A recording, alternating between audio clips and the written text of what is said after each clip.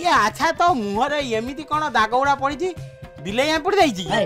ବିଲେଇ ଆମ୍ପୁଡ଼ି ମୁଁ କ'ଣ ଛୋଟ ଛୁଆ ବାଲିରେ ଖେଳୁଥିଲି ବିଲେଇ ଆମ୍ପୁଡ଼ି ଦବ